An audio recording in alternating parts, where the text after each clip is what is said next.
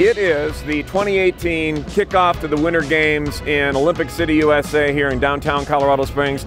Great celebration, thousands of people coming down. We've actually done this for the last uh, several winter and summer games.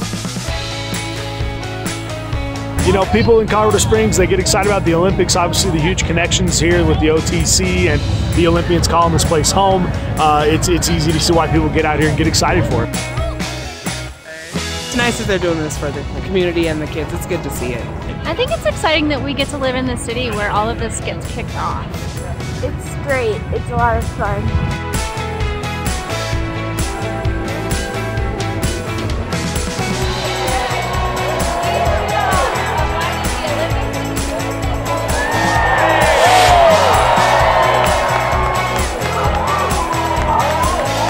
Uh, the favorite part is, frankly, just kind of getting in touch and getting enthused and getting jacked up about the uh, the winter games or the summer games. Go Team USA, go! USA, go!